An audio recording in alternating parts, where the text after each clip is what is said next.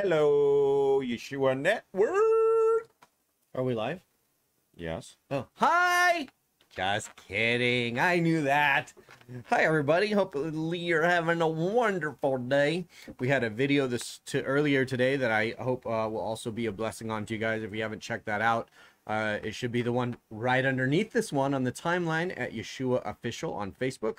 And it was about witnessing to people, how to witness, why do we witness, what's our hearts and mindset when we witness. So yeah, I just thought that was a really great conversation that was started by one of our our uh, members here at the uh, Yeshua Network. So yeah, check that out too. While everybody's logging on, we want to welcome everybody and hope you are being a blessing. Well, I know you're already a blessing, but I mean being even more of a blessing. And uh, in case there's anybody new jumping on, Yes. we welcome you. We're happy to have you. Um, uh, this is part a of a very long video series called the entire Bible read through. We're now in Matthew 17 in the New Testament. Uh, if you're starting and you're new, we recommend highly you go to the beginning and you go and you watch the videos and read the Bible for yourself in order and come to the videos and uh, fellowship. Um, we've heard great things from people about how wonderful uh, the fellowship is, even recorded. That it's very helpful and and very uh, enlightening and all that good stuff. So, um, But feel free to watch this video if it's your first time visiting. And also, there is a link at the top of the page on Yeshua Official on Facebook. And that link has um, a lot of our videos, or all of our videos, all of our content. Uh, and you can search per topic. So if there's a topic you want to see, or if you want to go to our YouTube channel, which is Yeshua Official, all this is in the description of the video, by the way. And you can see all these videos that make up the entire Bible read through series in order in a playlist. So that will be also very helpful for you. Yeah, so I think we got all the stuff out of the way, huh? Mm, yes. I All right. We can jump right Let's in. jump on in. Let's get this party started. Hey. Okay. Welcome. Here we go. I'm Nathan Wheeler. Are we doing introductions again? I'm Alex Lvovsky. Well, I didn't say my name today, did I? I said, "Are we live?" Right. Right. Correct. We did not say Even though the name is underneath us. But it's nice to repeat. Well, some people can't read. Oh, That happens too. What? Turn that. There we go. Oh. The video was stuck. Also, you didn't start recording. Oh yeah. I give you 12 jobs. All right. so- 12 jobs. 12 Hi, jobs. I'm Nathan Wheeler. Hi. And this is video Matthew 17 of the entire Bible read through. ah, yes. I'm the other guy. Oh, And, oh uh, no, no, no. What? He's stealing my line now. I like that. I'm the other guy. How does that feel? Do you like that? No, I don't. No. Steal my steal my thunder. I like stealing your Okay, thunder. sorry Okay. guys. You know how we do here. Let's jump on in now that we got the goofiness out. alert. Shake the goofiness off. Did they do like- that? Yeah, it's like kindergarten. Yeah, kindergarten. After Yeah. PE, after Kids recess. come in, you got to shake, Shake the off the goofiness goofiness off. Okay, Yeah. that's us. Mhm. I never grew up. Mm-mm. I'm like Peter Pan. Okay. Yeah, Toys R Us. What? Okay. Yeah, yeah, Toys R Us, exactly. Jennifer Connolly, Matthew 17, 3 through 5. And behold, Moses and Elijah appeared to them, talking with him. Then Peter answered and said to Yeshua, Lord, it is good for us to be here. If you wish, let us make the let, let us make here three tabernacles, one for you, one for Moses, and one for Elijah. While he was still speaking, behold, a bright cloud overshadowed them, and suddenly a voice came out of the cloud saying, This is my beloved Son, in whom I am well pleased. Hear him. This is awesome. When I read this, I can't help but wonder why he brought back Moses and Elijah from the dead. What on earth were they talking about? Was this an example of his resurrection power bringing them on the scene, bringing them back from the dead, Moses and a prophet, Elijah? Um, this scripture popped right into my head, Luke 16:31. If they do not listen to Moses and the prophets, they will not be convinced even if someone rises from the dead. It seems like if anybody on the mountain had any doubt, it was laid to rest in that moment. He also transfigured in front of them. How were they all how were they able to stand? I guess they weren't able to stand. I just read chapter 6. Amazing. He brought in the witnesses and he had the Father announce him just in case they couldn't recognize. Why did Peter want to build three tents? he just wanted to camp there in the present. He just wanted to camp there in the presence of God in heaven. Can't blame him for that. Why did Peter want to build three tents? I don't know. Yeah, you do. I do. Yeah. Go for it. I believe in you. Wow. That's that's bold. Is it bold? That's bold. I I don't really. That I believe that you got this? well, Well, let's see if there's anybody else that has comments though before we I don't want to steal thunder from anybody. okay, perfect. Yeah. Go ahead. Good Peter. comment by the way, and I like that you did the reference line as well uh, about the um uh, go up about the uh, Luke sixteen thirty one. Thank you for doing that. I love that. That's really good stuff. Okay, Mhm. go ahead, go down. There you go. Oh, I read, huh? It Yes, my turn to read. Yes. Oh, my turn. Okay, Ogachuku, Matthew 17, 3 to 12. I find it fascinating how Peter was able to identify Moses and Elijah without being told who they were. Oh, he had a picture of them, though. Remember? Yeah. oh, man. Yeah, he just took out his iPhone. He's like, wait a second. searched. Who are these dudes?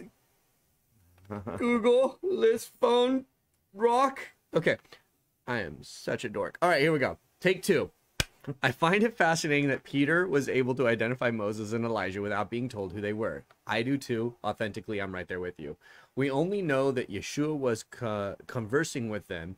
It reminds me of when I experience dreams, I just have this knowledge of who someone is or what they are thinking about, thinking without ever talking to them. Mm-hmm. Interesting. Verse 12 interesting, confirms Matthew 11, 13 through 15 for all the prophets and the law prophesied unto John. And if ye will receive it, this is Elijah, Eli- Elias, Elias is how it is in the Latin, which was for to come. He that hath ears to hear, let him hear. Then, interesting in Matthew 17 11, Yeshua says that Elijah is coming and will restore all things.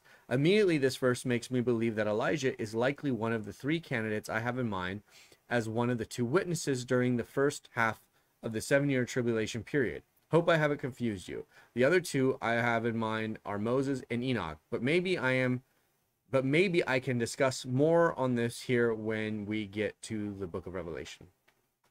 Cool. Hmm Awesome. Okay, Uh, continuing on. Or- Ricardo. yeah, more more more comments on it. So Uh, um, this is about Matthew 17 3. Mhm. Um, how did they know right then and there those two who appeared with Yeshua were indeed Moses and Elijah? Maybe Elijah was with a cloak and Moses with a staff. That doesn't make much sense. Just throwing ideas. I mean, for example, if I saw Yeshua, a man, and a woman without a belly button, I would assume right there that they were Adam and Eve. So why Moses and Elijah?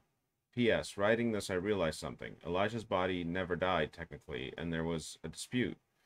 Uh, Michal, Michael, and the devil over Moses' body mentioned by Jude. Hmm, rabbit hole indeed. Ahead. Uh, P.S. 2. Another rabbit hole. If Moses indeed kept his body as Elijah kept his body, and Elijah came to earth in John's body, died in that body, but now he seems to be back in his old body again, sorry to go technical on this one, but it feels like consciousness transferring, like a mind backup, like it happened to you, Nate, that you had already, that you had already dead, dying body on Earth, but you were with a conscious mind in a different body somewhere, and then came back to your own now body. Uh, this also made me think that about the two witnesses that die and come back to life, to be taken right there onto heaven uh, is anyone taking notes on rabbit holes as with golden nuggets? Yeah, rabbit holes, so many of them. Um, I don't know. Did I miss them? There were rabbit holes. yeah, um, Gosh, I'm good. yeah. I, I'm with I'm with Ogachuku. I'm with Ogachuku on the idea that when you know when you just know, you just know who somebody or who who somebody is or who what something represents, whether it be in a dream or or once you wake up from the dream, you immediately get an understanding of what it was.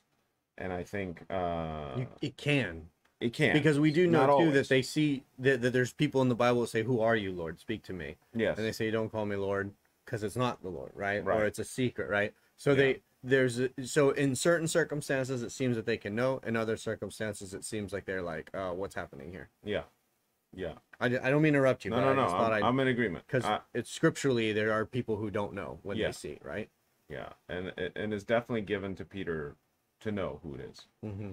Um,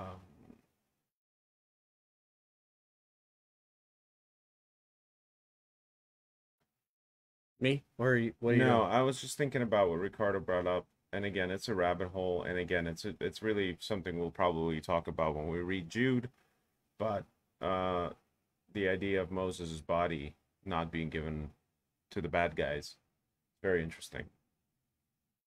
we talked about that Well, we, during, during Joshua, that time mm-hmm. i that- did anyways i think i remember is it mentioned in Joshua or is it only mentioned in Jude? That part. I don't know but we talked about it in the old testament or is it in jude you're talking about didn't we talk yeah, about like it I, I Maybe we didn't talk We about may have, but I don't remember this. I don't remember like the scripture from the Old Testament that talks about that episode. i may i may have mentioned it in other we may have though. mentioned it while we were reading it that there is an episode later on that we're going to read about this time in the Old Testament. I don't know. anyways not super important but kind of Yeah. cool i don't want to take any thunder let's Yeah. keep reading you guys are leaving great comments by the way we're not Yeah. commenting because we want to let other people comment it's like we Yeah, don't want it to be we- us Yeah. Uh, uh, Vicky, uh, go ahead. Vicky Richardson. Vi- Vicky Richardson. Matthew 17, 5. He was still speaking when, behold, a bright cloud overshadowed them, and a voice from the cloud said, This is my beloved Son, with whom I am well pleased. Listen to him. My Bible cross references verses Revelation 1 7. Behold, he is coming with the clouds, and every eye will see him, even those who pierced him. And all tribes of the earth will wail on account of him. I find it interesting that in Matthew, a bright cloud overshadowed them, and later, Yeshua tells them to tell no one until the Son of Man is raised from the dead. In the end, he will show himself to everyone and will come on a cloud for everyone to see, and we will all wail on account of him. This made the phrase, listen to him, really stand out for me. I've read this verse many times and just kind of skimmed over the meaning. It's a command from Yahweh. If we don't listen to him, it's not going to be good a good day for us when he returns. Come on, Vic, that's what I'm talking about right there, okay? Was good. That's awesome. Yep. Good find. Very, very good detail in the words there, in the wordage there. That's very aw- awesome. Hmm. Yeah. Ricardo, Matthew 17, 9. Um, and as they came down from the mountain, Yeshua charged them, saying, Tell the vision to no man until the Son of Man is be risen again from the dead. This called my attention and reminded me that several times Yeshua says not to tell about something. Also, when Pilate asked Yeshua, What is truth? Yeshua did not answer and got me thinking. When I began to read the Bible and became aware of who Yeshua was and is, and how important all this is, I felt like sharing with everyone I could. And also, something changed inside about truth and how hard it is to lie or say something that is not even a so called white lie makes me now really uncomfortable. Mm. So from then to today, I tried to very, very specifically when I talk, especially if it refers to talking about the Bible. And for a time, I felt like if I did not say something, it was kind of lying. Uh, with time, I realized that not saying something or choosing words is not lying. That sometimes flipping the bucket of data over someone could be overwhelming and not well received. That there is an appointed time different for everyone to receive Yeshua, the truth that sets us free like in the movie Matrix, you can't just tell what the truth is. Every single one of us needs to experience it to understand it and embrace it. Amen, Ricardo. Amen. Agreed. 100%. Um, so, before we rush on, the question at the beginning of this What's the about the three? tabernacles, the three tabernacles. Yeah. Go ahead. I, I'm I'm drawing a blank. No, Um, you're not. I, I am. You got this. uh, well, Reach down deep inside of your Jewness and pull it up. You got this. wow. Come on. Oh, I believe in you. Deep inside of my Jewness. Get that DNA bubbling. All right, hold on. Let me let me meditate on some uh, you know, some potato pancakes and Do you want me- some blintzes. Do you want me to help you? Let me think about matzo balls. What was the first tabernacle built for? Well, for to house the Ark of the Covenant and to be the temple. Okay. So why would he build three if he's seeing the three of them? And he says, I want to build one for each of them. He's not saying we want to build them for us to sleep in and have like a barbecue. Yeah, they're all holy. Yeah. Seeing the holiness in them. Yeah. And So really, when he says he's building a tabernacle, he's building an uh, a holiness, a, a, a, a housing to house the holiness. an altar. Like a, Ah. like like so remember in the Old Testament like Noah built an altar, right? When they crossed over the Red Sea, the first thing they did was they built an altar, right? With the rocks. God said place these rocks, don't do it by your hand chiseled, right? So yes. So all these altars throughout the Old Testament were being done as a way to honor So the whenever- moment whenever- and recognize the people. Very. Yeah, that's very good. So See, I knew you'd know. Well, You're you- good, dude. You No, tell you yourself too one. much. You were- did I this thought- one. He had it in him the whole time. Well, you know, I recognized it when you said it, but I was drawing blanks. Um, so what Nathan is talking about? Whoa, whoa, whoa! Hold on. Don't blame me. No, because it, it seems like the when yes, whenever uh, an Old Testament um, uh, person Du- Deuteronomy. encountered God, mm-hmm. they would build an altar. That's right. exactly what you just said. So You said. um, you know, you did it. I'm just messing. Go ahead. We're trying to stay focused. I'm sorry, guys. Go ahead. Who's on first? What's on second? No, what? I don't know. Is on third. I don't know. Was there a Okay, home let's go back. Ready? Take two.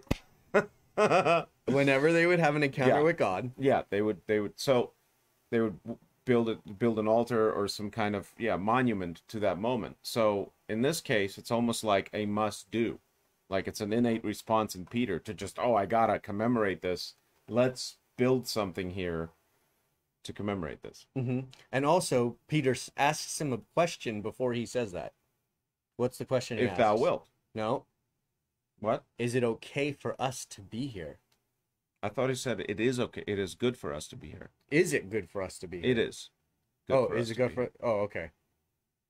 Said, "Oh, it is good for us to be here." Oh, see, I got my brain's Yeah. fried. Yeah, it, Yeah. it is good for us to be here. If thou wilt, less. But I, my point is the same. He's recognizing that this is a moment. Yeah.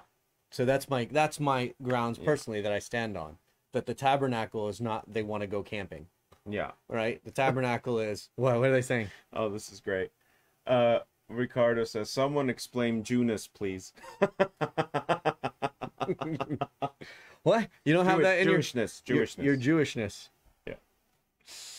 That's funny. Um, Alex is Jewish by yeah. bloodline, so I tell him reach down inside, and find the answer. find the for- answer in your Yes. ancestral storyline and the DNA. Okay. yes. Um. Yeah. So that's the thing that I personally am persuaded by that whole bit there. That it wasn't a, a camping. It was a, it was a altar more Yeah. onto them to recognize the moment and that you know this was an important thing. Like uh, you know, to be recognized. Interesting. No. Yeah. I mean, it's No, it's fine. It's uh, apparently akin to uh, a tent or cloth hut, literally or figuratively, habitation or tabernacle. Mm-hmm. Um, I could see how people might think, oh, he just wanted to have a camp out with them, but he didn't ask to build one for himself. No, he specifically named each one of them. Yeah, yeah. So I think I like Three tents and three names. Yeah, I like your theory. This is your theory. It's your thing. I just borrowed it from you. Out of my ear. Yeah, I heard. just- I heard your thoughts, and I was like, I'll just say it because he's wigging out. Unable to hear his own thoughts. He's unable to hear thoughts. I hear your thoughts. I hear my thoughts. I hear his thoughts, and his thoughts, and her thoughts, and his thoughts. What? Who's talking? i don't voice? know I'll, I'll let you know when they stop chattering. It's hard to tell. When I'll talk at once. Uh, Ah, yeah. We're totally not cuckoo, cuckoo Okay. Okay. where are we, Ricardo? Yes. Seventy nine. Yes. Wait, did we answer all the questions though? What We about did. number one? Who is the that first? was person? that was that was first, number. one? that was the first question. Like, what's up? What with was the other one though? Um, no, that's it. Oh, oh, he, yeah. Did he just want to camp, or what's the deal with the tents? Yeah, Yes, Peter three tents or so. so can't blame. Okay. that was it. That was the question.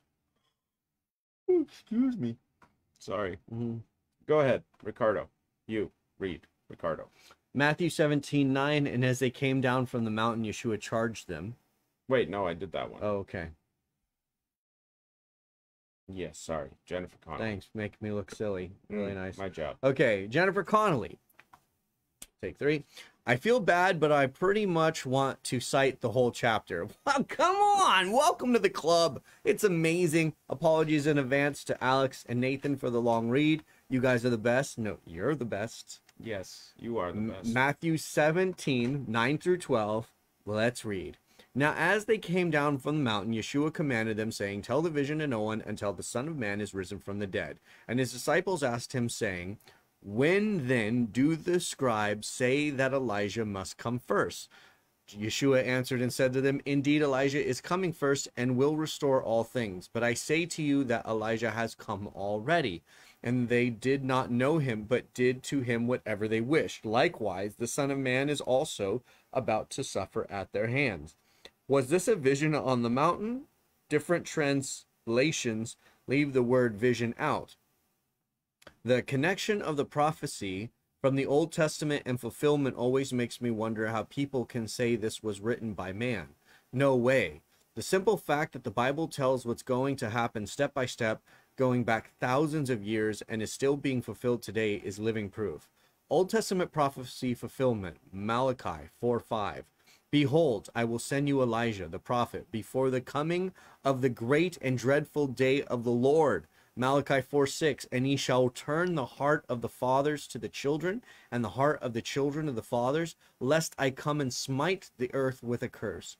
I can't believe I missed the John the Baptist Elijah connection. Reading it now, it seems crystal clear.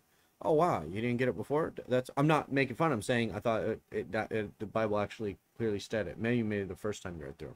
I can relate to the disciples more than ever when I read this. He told them exactly what was about to take place. He performed the miracles. He had the God of the universe verified who he was. But in that moment of his death, when they thought he was no longer with them, they mourned him. In the waiting, they doubted. He was doing so much for them and future generations behind the scenes. But because of the circumstances of what they were seeing, it was hard to grasp that faith. Man, that's a great comment. Really good stuff, Jennifer. I think it definitely applies to a lot of. We see the Lord has done a lot of uh, in our lives, and yet we have moments where things aren't going our way or things are seeming confusing in those moments, and we do. We go, well, maybe maybe he's not here with me now because this doesn't seem to be going as planned. So I can relate too. Hmm. He shall turn the hearts of the fathers to the children, and the heart of the children to their fathers.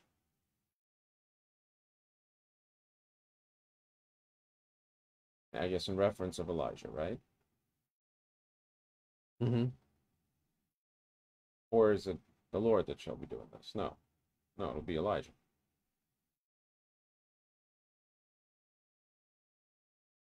mm Uh, anyway, I got mesmerized by Malachi 4 6 for a moment, guys. Pardon me. I kind of fell into a It could be the Lord. I it could be Yeshua he's talking about. fell into a rabbit hole. you would. I would fall into a rabbit hole. I mean, that is the last line of the The Old last line in the Old Testament, yeah. Remember ye, remember ye the law of Moses my servant, which I command unto him in Horeb for all of Israel with the statutes and judgments. Behold, I will send you Elijah the prophet before the coming of the great and dreadful day of the Lord. And he shall turn the heart of the fathers to the children, and the heart of the children to their fathers, lest I come and smite the earth with a curse. Hmm. Based on how that reads, I'm thinking it's Elijah, which is what Elijah was, or John the Baptist was crying out in the desert. Repent, repent, because that was his job. He call, he calls them to repentance to get straight and get right with, for the coming of the of the Messiah. We also read about uh, how in the end times, fathers and sons and mothers and daughters and Betray each other. will betray each other. hmm So this sounds like Elijah comes and reconciles them. Um, Before end times or in this moment? before the day of the Lord. Right? I will send you Elijah the prophet before Well- the coming of the great and dreadful day of the Lord. Well, dreadful. Look at that word, dreadful. It may not mean what you think it means. Uh, reverence, fear, terrible, affright, Maybe it does. make afraid, dread. Okay. So yeah, the great and terrible day of the Lord, the dreadful day of the Lord. Well, but what do you think that that means? That sentence, the day of the Lord. Do you think it, you, it sounds to me like you're thinking it's the end time second coming? No, I yeah, I think that there's actually I'm not really sure what that means. Can you unhide Ricardo and uh, Jill?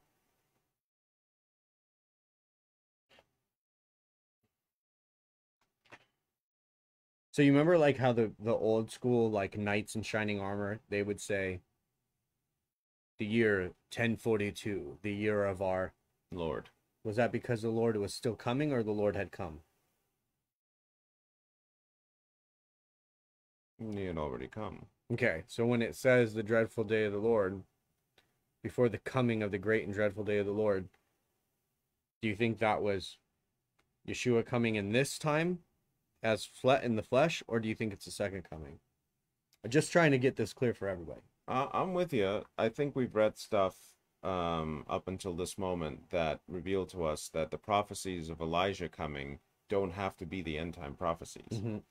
Um, I'm just stuck on this one because I'm, I'm maybe I'm just taking it out of context and I'm back to thinking about the great and dreadful day being the end day Mm-hmm. or at least the end times. Um,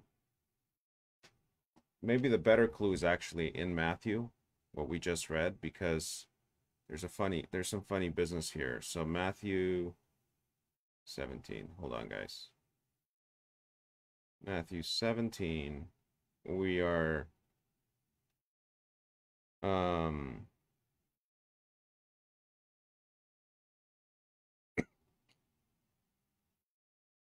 uh here we go.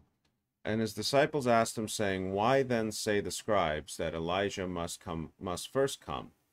And Yeshua answered and said unto them, Elijah truly shall first come and restore all things. But I say unto you that Elijah is come already, and they knew him not, but have done unto him whatsoever they listed. Likewise shall also the Son of Man suffer of them. So, uh, Yeshua is saying that the prophecy of Elijah first coming is indeed true, Mhm. but he's also saying Elijah has already come. Mhm. I'm telling this to you. Mm-hmm. Elijah has already come, and they didn't recognize him, and they have done to him whatever they wanted, Wanted. and they're going to do to me, to, to the Son of Man, the same thing, and he's going to suffer from them. Mhm. So, um, it seems to me that Yeshua is explaining to us that uh, maybe um, maybe Elijah's uh, here's here's a thought: Is it possible that Elijah's appearance as John the Baptist is not his last and final appearance here on earth? Is it possible that Elijah will appear again? Maybe, as some people have mentioned, uh, one of the two witnesses or whatnot, or who knows? Uh, is it possible that Elijah will appear again? He does appear after the death of John the Baptist. He does appear here in this vision with Moses and Yeshua. Mhm. So obviously, we know Elijah's soul is around. Um, is it possible that he does appear again and both are true? He appeared before uh, Yeshua's first coming as John the Baptist, and he'll appear perhaps before Yeshua's second coming when things will be reconciled between the fathers and the children.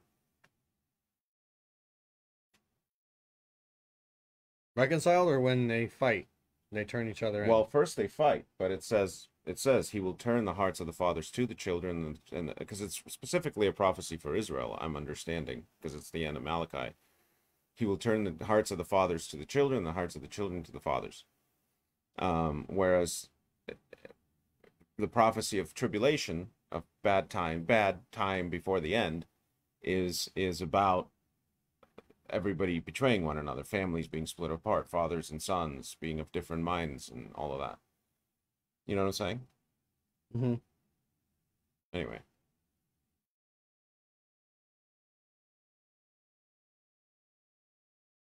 What are you thinking? Who knows? ah, yes. You Nobody, tuned into the right channel. nobody should be alone in there. That's why I always come and knock. You know, hello, Hello, McFly. McFly. you in there? So here's here's my thinking. If you just Google, and I'm sure everybody's doing it right now, type in what is the great and dreadful day of the Lord. Almost everybody is under the agreement that it's the end time second coming of the Lord, right? Joel 231, Acts 220.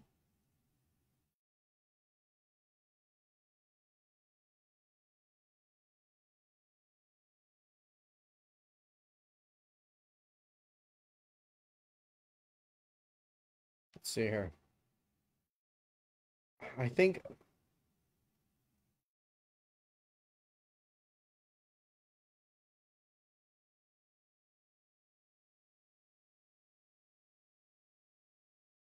Luke, let's see. As many of the children of Israel shall he turn to the to the Lord their God, and he shall this is Luke 1, 16 through 17.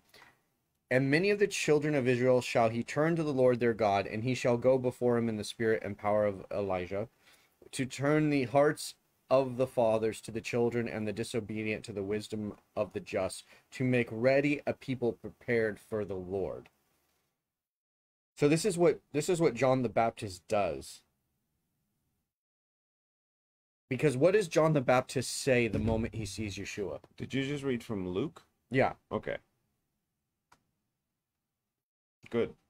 But We what does John the. Baptist say when he first sees Yeshua? He's making the path straight, right? For Yeshua. He says, This is the one in whom I've been talking about, the one whose shoelaces, sandals I'm not worthy to. touch." right, right, right. So if he's been talking about this one, he's been preparing people, he's been baptizing people onto, you know, uh, repentance, right? Not not onto salvation, but, but repent like into the heart of repentance and cleaning cleanliness. My thinking is is that you know, I'm. I think I, I understand like why our minds and I'm I'm partially in agreement. So I'm not trying to say that, you know, anybody's wrong. But what's more horrible? The Lord coming back and like annihilating, killing everybody who like didn't receive him kind of thing, right? Or the Messiah is there in the flesh and you killed him because you didn't know he was there. And if the and in the Old Testament, who are the prophecies 90% of the time for?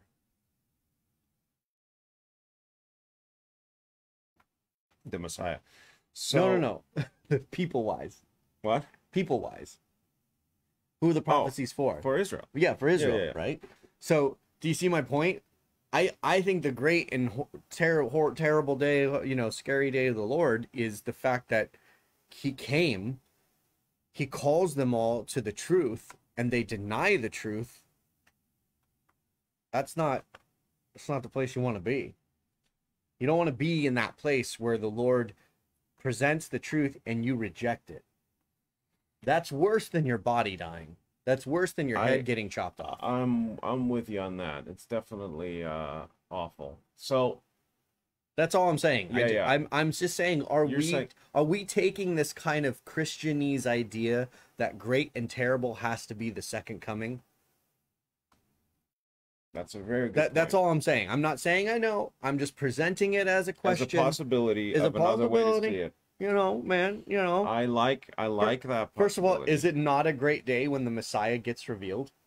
I if if you think about because there's there's prophecies or yeah there's prophecies in, in throughout the Old Testament about the great and dreadful day of the Lord that have to do with things being set right and vengeance, the Lord taking his vengeance, and uh Well, and does it define that vengeance? no it doesn't and that's the thing is if he's taking a vengeance against all evil Uh-huh.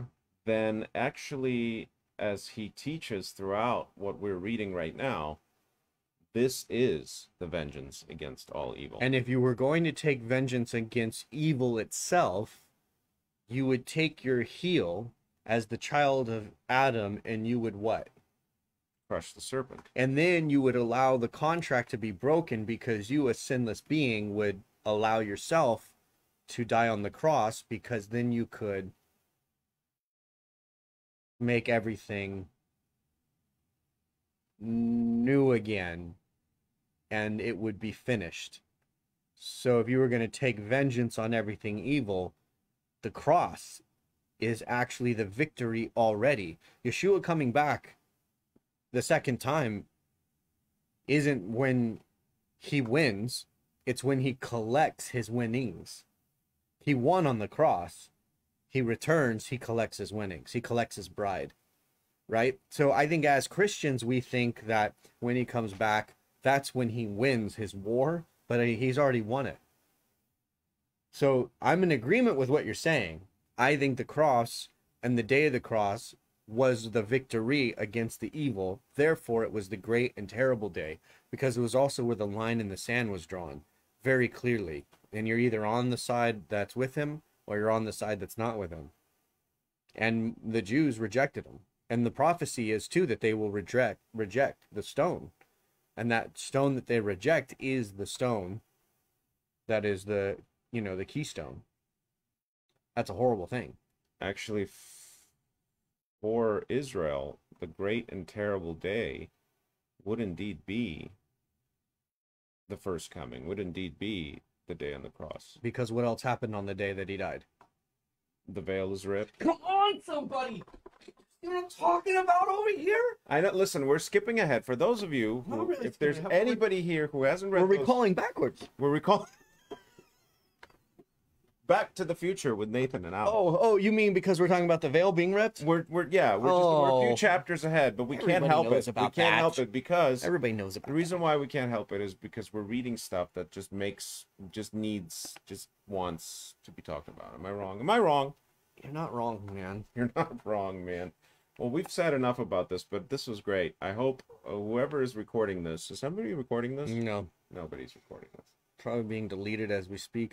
Yeah, that was very good. You Um, said it. I'm just over here listening to you. so- No, no, you, but you're no. on fire today, bro. You're Whoa, killing it right you know, now. I love- and these guys, these comments are amazing. The comments are amazing. I am barely keeping up. Okay, Okay. Ricardo, Mm-hmm. Matthew 17, 14 through 21. Bro, the veil was ripped. Yeah. Evil was conquered. Death, where is your sting? I'm just saying. I'm I so know. pumped right now. That's true. You can't get me talking about Yeshua on the No, cross, bro, without Nathan stuff. losing his mind. Uh, My mind's lost. You better You have- keep reading yeah. because otherwise I'm gonna go crazy. I'm gonna we stay focused, I Mr. can't. Wheeler. Can't. I'm focused on the cross. I can't stop looking Mm. at the cross. Listen, man, that's see a what I good did there? focus. You stay focused, and I was like, I am focused. You see? I see what you did there. See what Alex has to put up I'm- with when he I'm hangs out with me? I'm barely keeping up with this guy. guy's going a million miles a second. I, today. I, pro- I apologize. No, it's good. No, this is good. This is good, Nathan. Go ahead. Ricardo, Yes. Matthew 17, 14 through 21. Found that Matthew missed on some details that Mark tells. This is Matthew. And when they were coming, and they were, rewind. And when they were come to the multitude, there came to him a certain man kneeling down to him and saying, Lord, have mercy on my son, for he is a lunatic and sore vexed. For oftentimes he falleth into the fire, and often into the water. And I brought him to thy disciples, and they could not cure him. Then Yeshua answered and said, O faithless and perverse generation, how long shall I be with you? How long shall I suffer you? Bring him hither to me. And Yeshua rebuked the devil, and he departed out of him. And the child was cured for that very from that very hour. Then came the disciples to Yeshua apart, and said, Why could we not cast him out? And Yeshua said unto them, Because of your unbelief. For verily I say unto you, if ye have faith as a grain of mustard seed, ye shall say unto this mountain, Remove hence to yonder place, and it shall remove, and nothing shall be impossible unto you. Howbeit, this kind goeth not out but by prayer and fasting. Sorry, Alex, to make you read all this, but Mark actually gives more detail that are missing here. No worries, Ricardo. I love reading, um, especially brilliant comments by you guys. Anyway, same by Mark. And when he came to his disciples coming down from the mountain with John, James, and Peter, he saw a great multitude about them, the disciples, and the scribes questioning with them. And straightway all the people, when they beheld him, were greatly amazed, and running to him saluted him. And he asked the scribes, What question ye with them, with the disciples? And one of the multitudes answered and said, Master, I have brought unto thee my son, which hath a dumb spirit. And wheresoever he taketh him, he teareth him. And he foameth and gnasheth with his teeth, and pineth away. And I spake to thy disciples, and that they should cast him out, and they could not. So this just uh so this just had happened right? While yeshua was gone a man came to the disciples with his son to cast out this demon but they couldn't. So scribes were questioning all of this. It continues. He yeshua answered him to the father of this boy and said o faithless generation how long shall i be with you? How long shall i suffer you? Bring him unto me. Reading this made me rethink again about yeshua questioning the disciples faith but also this man's faith. And they brought him unto him. And when he saw him, straightway the spirit tear him, and he fell on the ground and wallowed foaming. And he asked his father, How long is it ago since this came unto him? And he said, Of the ch- and he said, Of a child. And oftentimes it hath cast him into the fire and into the waters to destroy him. But if thou canst do anything, have compassion on us and help us. This made me cry. I felt I felt as in here the father asking for mercy to end his son's life. Oh, Yeshua said unto him, If thou canst believe, all things are possible to him that believe it. Seems like Yeshua knowing already what was going on, but asking anyway and making the father say out loud what was going on, made the father to feel right there all the weight and sorrows they were experiencing. And straightway the father of the child cried out and said with tears, Lord, I believe. Help thou mine unbelief. He's not asking to cure the boy right now, he's asking for faith. When Yeshua saw that the people came running together in everyone's faces, he rebuked the foul spirit, saying unto him, Thou dumb and deaf spirit, I charge thee, come out of him, and enter no more into him. And the spirit cried and rent him sore, and came out of him, and he was as one dead, insomuch that many said, He's dead. But Yeshua took him by the hand and lifted him up, same as with Peter in the water, and he arose. And when he was come into the house, his disciples asked him privately, Why could not we cast him out? And he said unto them, This kind can come forth by nothing but prayer, but by prayer and fasting. Question Does this mean for you that faith, fasting, and prayer are required for both sides, the healing and the healed? At least for this kind of spirit. I don't think it means it for the for the ill. You mean for the one who's possessed? Yeah, I don't because how are you going to get them to Yeah. fast and Pray. pray if they're possessed? So it can't be onto them. And we will read passages later that tell say that we can heal others, which this actually is a demonstration, but we can heal others even if they don't believe.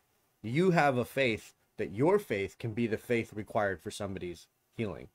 So also take a look at uh what is that, Loin Lona? So they, they pull a good scripture there. You want to read Where? that? Joel? Mm-hmm. The Lo- Lona. Lona? Joel 2:31 The sun shall be turned into darkness and the moon into blood before the great and terrible day of the Lord come. Okay, so now reading that, just what? What do you got? There's another one. Okay, go ahead, read. Well, no, go ahead. You No, no. So you reading that? Anybody hearing that? Right?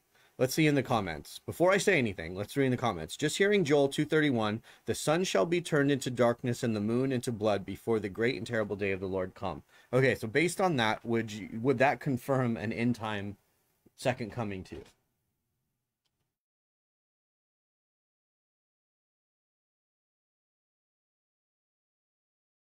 uh not necessarily. Dan has a comment.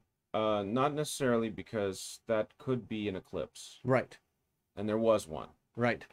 Uh, Okay. So, But I think that people think of that. So let's read what Mary has written. Just just while we're on this topic, let's read what she's she's written to see what she's adding. It's a great practice to regularly. Yeah, Oh. that's Mary. Yeah, yeah.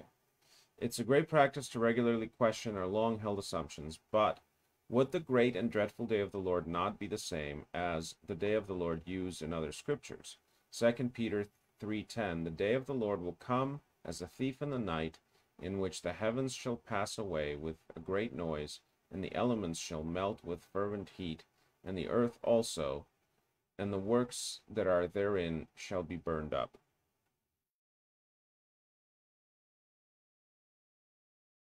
That's why I am of I am inclined to What? consider the idea hmm that the great and terrible day of the Lord, or the day of the Lord, is not specifically one day, nor is it necessarily, nor is it something that only happens, that only manifests once. It's but but I'm just saying, like I could I could imagine the possibility. I'm not saying I I I know the answer. Okay, read the next one. Ogochuku. Ogochuku, the great day of the Lord is near, it is near and hath hasteth greatly, even the voice of the day of the Lord. The mighty man the mighty man shall cry there bitterly. The day is a day of wrath, a day of trouble and distress, a day of wasteness and desolation, a day of darkness and gloominess, a day of clouds and thick darkness, a day of the trumpet and alarm against the fenced cities and against the high towers and I will bring, bring distress upon men, that they will that they shall walk like blind men because they have sinned against the Lord, and their blood shall be poured out as dust, and their flesh as the dung. Neither their silver nor their gold shall be able to deliver them from the day of the Lord, Lord's wrath, but the whole land shall be devoured by the fire of his jealousy, for he shall make even a speedy riddance of all of them that dwell in the land. Zephaniah 1 14 through 18. Yeah. So, So what- go go to go to Dan's. this one? Mm-hmm. Dan says, not sure if my comment showed up here. So here it is again Matthew 17 20. I think that's. Uh, we got that one, I think, Dan. Let me double check. Yeah, we have that one. Oh, we haven't gotten there yet. We haven't gotten there yet. Is it yeah. a day of the Lord one though? Uh, no. Okay. So to the first comment, scroll up. To the first comment, Lona, Joel 231. The sun shall be turned into darkness and the moon in blood before the great and terrible day of the Lord come. So it's just like this, right? Think about Abraham. He's got to go sacrifice his son. But he has two sons. The other son is not not a son, but one son is the Prodigal, right? well, The no, one he wanted with Sarah, it's the it's the beloved. The beloved son. It's the beloved son, right? So it's not that that there isn't another son. He could say son and there's still a son. What I'm saying is is that in this particular usage of words, there's two words.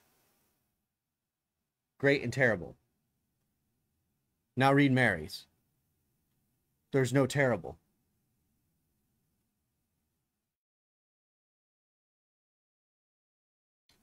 Great and dreadful day. Yeah, great and dreadful day. Oh wait, no. Uh, right, right. I'm sorry. Mary's is day of the Lord. day of the Lord, but there's no terrible or dreadful, right? Okay, now let's read the scriptures leading up to Lona's Joel 1, right? We're at Joel 2:31. Watch this. And it shall come to pass afterwards that I will pour out my spirit. So it shall come to pass afterwards that I shall pour upon all flesh, or I shall pour out my spirit upon all flesh, and the sons and your daughters shall prophesy, your old men shall dream dreams, and young men shall have visions. Now, this obviously ties into end time stuff, right? And also upon servants and upon the handmaids and days will I pour out my spirit. I will show wonders in heaven and in the earth, and blood and fire, pillars of smoke.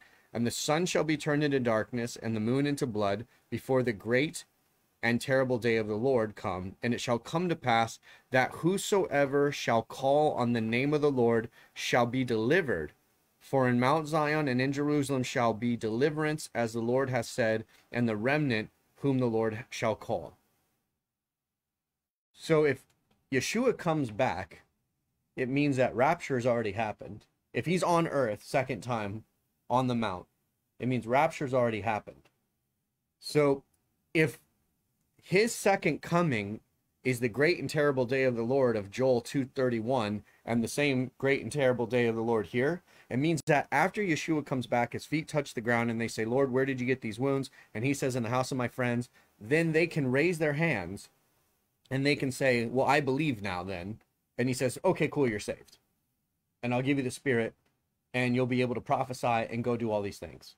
Because that's what it's saying. It's going to happen after. So my point is to say is that what happened after Yeshua died on the cross and rose again? The day of Pentecost. Right? And the day of Pentecost did what? it caused the Holy Spirit to fall on the people, and they they they like prophets. The average person was being filled with the Spirit and was prophesying and was doing all these things, right? And then those who would raise their hands and believe would be received and saved, according to these scriptures, right? So does that not sound like the first coming?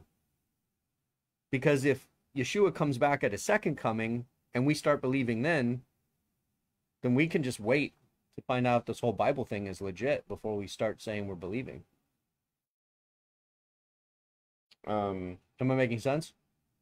Uh. Yes. Am I making sense I- to you guys I- out there I'm- in the I'm cyber just- worlds? I'm reviewing. I need to look at this context of Joel too.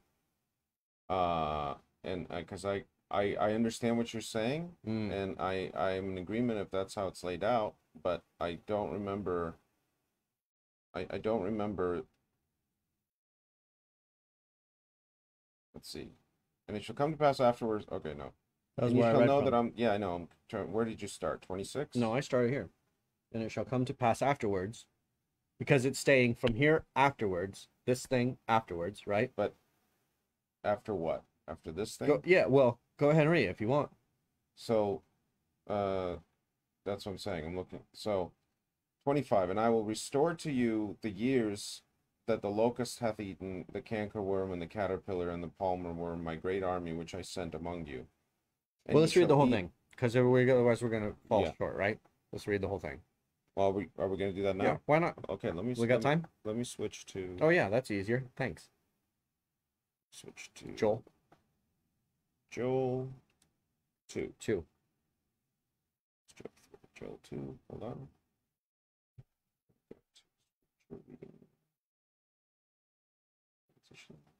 Okay. Day of the Lord. So two one. Should we start there? Yeah. So this is this is Joel 2-1. Blow ye trumpet in Zion and sound alarm in my holy mountain. Let all the inhabitants of the land tremble. For the day of the Lord cometh, for it is nigh at hand. Nigh at hand means Close. okay. And the day of darkness and of gloominess, a day of clouds and of thick darkness, as the morning spread upon the mountains. A great people and a strong, there hath not been ever like ever the like, neither shall be any more after it, even to the years of many generations. A fire devoureth before them, and behind them a flame burneth. The land is as the Garden of Eden before them, and behind them a desolate wilderness. Ye the nothing shall escape them. The appearance of them is as the appearance of horses and of horsemen, so shall they run. Like the noise of chariots on the top of mountains shall they leap, like the noise of flames and fire devoureth the stubble, as a strong people set in a battle array. Before their face the people shall be much pained, all faces shall gather blackness. They shall run like mighty men, they shall climb the wall like men of war, they shall march every one on his way, they shall not break their ranks, neither shall one thrust another, they shall walk every one in his path, and they shall fall upon the sword, they shall not be wounded. Okay? They shall run to and fro in the city, they shall run upon the wall, they shall climb up upon the houses, they shall enter in at the windows like a thief. The, the earth shall quake before them, the heavens shall tremble, the sun of the moon shall be darkened, and the stars shall withdraw their shining, and the Lord shall utter his voice before his army, for his camp is very great, for it is strong, and ex- uh, executeth his word, for the day of the Lord is great and very terrible. Uh, who can abide in it? Okay, that definitely sounds like end times Yeah. because they can't be killed when they get stuck. Right. Okay. So hold on, let's see. And therefore also know the Lord turn ye to your hearts in the fasting and weeping. Scroll so I can see.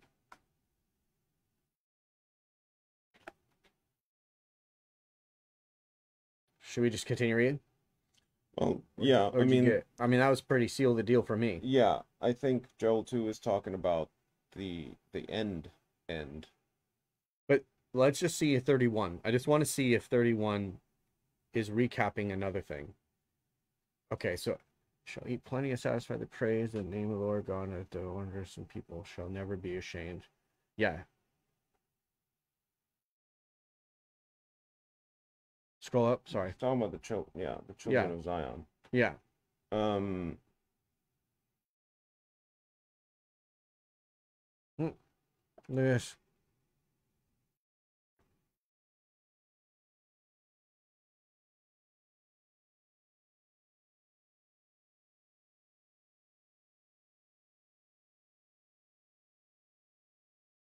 The Lord had pity. Yeah. I think you're right. I think you're right. That tells it. I mean, is it possible that It's Uh, twice. Uh, uh, well yeah and is, is it possible that the because yeshua says to them but i tell you now as if he's revealing to them a secret Right. and he says also in prior prior scripture he says if you will receive it i tell you elijah has already come it's almost as if yeshua's first coming is like a preview of uh, it's it's it's I, I don't mean to say it is a preview as in like it's only I don't mean to say it's not important Right. what I mean to say is that it's a, it's a hidden coming. It's a hidden coming, including the fact that Elijah did also come, um, uh, also kind of as a hidden coming, And they didn't know. and they didn't know, Mhm. and then when he does come the next time, he will come as Elijah, and they will know the Israelites. I mean, will Mhm. know who that is Yeah. and they will have an opportunity knowing who that is to realize they're now in the day of the Lord. And when Yeshua comes and they go, Where'd you get these wounds? They will perhaps understand that, oh my God, the day of the Lord This is, is it. about Yeshua, and Yeshua really did come before, and Yeah. that the, the Christians aren't just like Weirdos. weirdos, you know? Yeah. yeah. Um, See, this is good. This is why teamwork makes the dream because work. because if you think about the it, holy dream work. well, if you think about it, We're still on what's it called? Uh, that's okay. Uh, here, I'll go back to. No more tiny us. If you think about it, that's the gift of um, that's the gift of Yeshua in in the time after Pentecost till the time of the end is that the Christians, right? This whole other quote unquote tribe that wasn't part of quote unquote Israel, or whatever whatever the old prophecies were, who they were directed towards, they actually get the first fruits of what it's like to be with Yeshua. Do you know what I'm saying? So, so Mm-hmm. for for for this group of people, for these twelve disciples to be shown Elijah, to be for them to be, um, for them to for, them to have it explained to them or revealed to them that Elijah did also come to to usher in Yeshua's coming is it kind of fits with the idea that um Christendom is going to get to experience the Holy Spirit before uh before the people to whom such things are promised in the Old Testament. Does that make sense? What I'm saying? Say it again. I was So, like- multitasking. So so Israel is made Israel Israel receives all these promises for reconciliation, day of the Lord, they will be taken back, they will receive. Yeah. Right? There would be in Joel it talks about the Holy Spirit pouring out on them, right? On all flesh. Um, but uh Christians have gotten to experience the Holy Spirit pouring out way before the end times, right? So just like they get the first glimpse of what that's like, they also got a secret revealed to them, as in, hey, Elijah already came for you guys. You know what I mean? Elijah already came before my first coming, before Yeshua's first coming. And therefore, um, those in Christ from the time of the cross are receiving something uh, ahead of what's to come after the day of the Lord. Does that make sense? Yeah, it makes sense. And Lona just gave another another passage, which is the passage Lona I was thinking about that you were thinking about, or I assumed you were thinking about when you let, made your first comment, which is Matthew 24, 29. Immediately after the tribulation of those days shall the sun be darkened, and the moon shall not give her light, and the stars shall fall from heaven, and the powers of the heaven shall be shaken. That's that's a passage that I thought you were referring to when you quoted Joel 231. But at the same time, the day that Yeshua died, the sky was darkened, and the earth shaked, and the veil was ripped. And stars also is another word used for angels. So the angels were defeated, or the angels that fell were also defeated on the day of the cross. So all I'm trying to say is like I'm I just want to be sure that I know what is the horrible or great and terrible day of the Lord because I see symbolism in both, right? And the thing that confuses me, I'll, I'll totally confess, I'm I'm a little confused.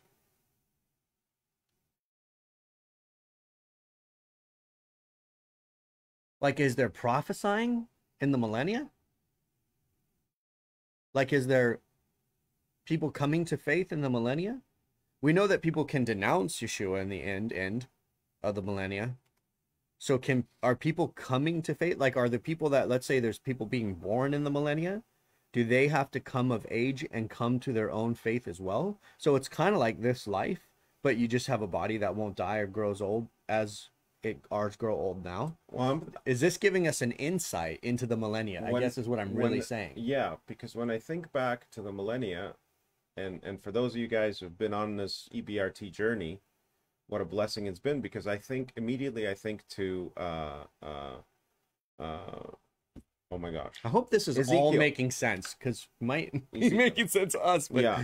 yeah. when go I ahead, think of the Ezekiel. millennia, I think of Ezekiel. Yeah. because Ezekiel gets the description of what temple life will be like, or what the temple will be like, and then there's clues throughout the Old Testament prophets, and I think including Joel, but definitely Zechariah and others, about the role of God's people in the millennia Yeah. and it talks about how they're actually all each one of them are going to be priests essentially priests Mhm. and living in Jerusalem and living in the temple complex, whenever someone would come and make a pilgrimage to them from around the nations, Mhm. uh, to sit and eat with one of the inhabitants of Jerusalem and to have a conversation with them and to eat from their bowl, Okay, just just just just in case anybody is new, the New Jerusalem, the New Jerusalem. and it's and it's a totally different shape, and it's kind Yes. of in a different place. yes. So just just making sure, like It's in he's the, talking about this the millennium. I'm talking about the Ezekiel, Ezekiel's temple, Jerusalem. I know. I'm just saying that in case anybody doesn't know that that Yeah. because you say Jerusalem, they're thinking like right now Jerusalem. Right. Okay, And so so so it talks about that God's people will be now the inhabitants of this place, Mm-hmm. and to come and to literally just hang out with them, eat with them, and fellowship with them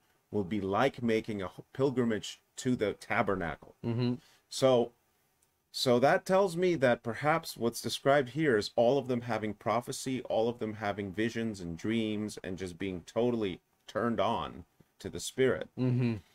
Is That they're all like pro- they're all- prophets. yeah, they're so all like- literally priest prophets. That's exactly Mhm. that. None, not a single one of them will be unable, or, Right. or turned off, or un, unconnected Unconnected. Yeah. to to God. Yeah. So, um, yeah, and I think that the saints that are uh, uh, transfigured and and raptured and transfigured are actually even close. That they're even before this group. They are the army that is being described on the great Right. and terrible day Yeah. and their placement in the whole thingy majig thing is is to be Like in, the hierarchy of the, the temple is hierarchy, thank you. thingamajiggery. Thank, thank you I, I hate to use words hierarchy because i'm scared to claim any kind of worthiness anywhere but you know what i'm saying the hierarchy yes they're invited to sit on the throne with yeshua you. hmm so they're in an even higher place Then the outside temple dwellers. Than the outside temple dwellers are the people who walk the highway, who are turned on, like it's talking about here at the end, uh, in the day of the Lord. They're turned on. They walk the highway to the promised Jerusalem, which is the way that we read in the Old the Testament. way that we read in the Old Testament. They become the teachers of the rest of the nations, and they're no longer looked at as man those terrible Jews who did terrible things, who who and all the things that people, all the anti-Semitism that Jews have experienced throughout um, existence will be gone forever. They will always be looked upon now as these are Israel. This is God's people,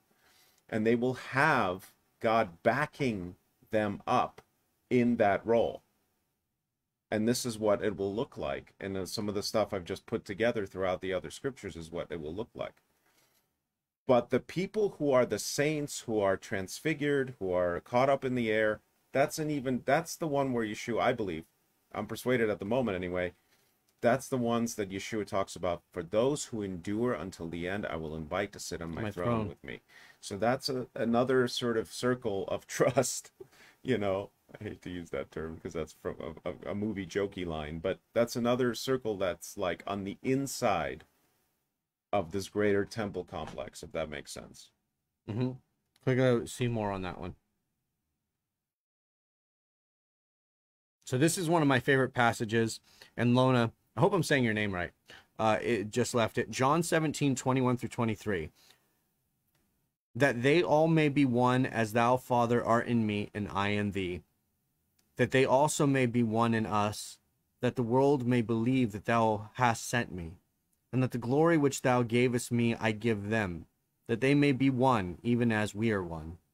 I in them, and thou in me, that they may be made perfect in one, and that the world may know that thou hast sent me, and hast loved them as thou hast loved me. Yeah. So I guess too, what what you're saying, Lona, in, in quoting that passage is you're saying too, is that like we don't experience that pure transformation or or pureness. I guess that's just the right word is pureness until millennia. So it's promised unto us who receive him who believe him who surrender to them to give their life to them but we don't have that full flow as he had the full flow until we probably get our new bodies because then we're probably not fighting the flesh like we fight the flesh here Right. do you get what I'm trying to say? Yeah, we- and we also would have died, which matches with uh, the Levitical law, right? We will physically actually die. We'll be given new bodies, which will not be tainted, which will not be stained with sin. So we, we still will be covered by the blood. But what I'm saying is, is that we're given those new bodies because we were covered by the blood. Just as Yeshua was given a new body, just as these two gentlemen, Moses and Elijah, were given at least the bodies that they're in a bodily form or spirit form, right? Am I making sense? I, think I think what you, I think so, and what you sparked in my mind when you said that is that when we when when when later on we'll read about when Paul is talking about being caught up in the air, and and all, all and Yeshua talks about it. It isn't.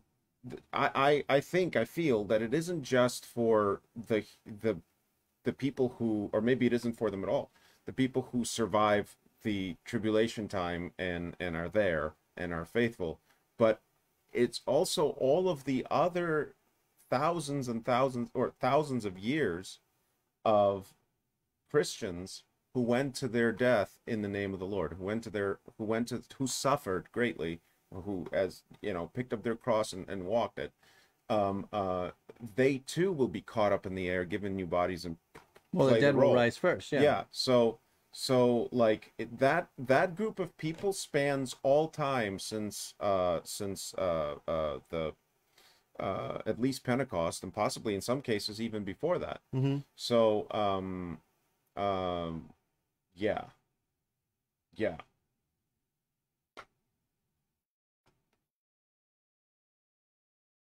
we really uh, for those of you I'm who just maybe, here for the pie. for those of you who who uh, who maybe haven't read ahead yet and we're just downloading all this stuff on you i guess it's because it, it's we're moved to do it so it's all good but uh, this is great i think this is really good because it, it creates a lot of clarity and it allows us it allows for us to relax because every time we read something that uh you know where where, where there's a, there's a seeming con- there, there may be some sort of contradiction where our minds are detecting we start to freak out right i've experienced this we've experienced this throughout the old testament Was there a contradiction? no but Oh. like people get confused like wait if elijah came in the day of the lord like that's how this whole conversation started Wait, Yeah. so when is the day of the lord let's really look at it we Hmm. just did and and i think we we're coming to the conclusion that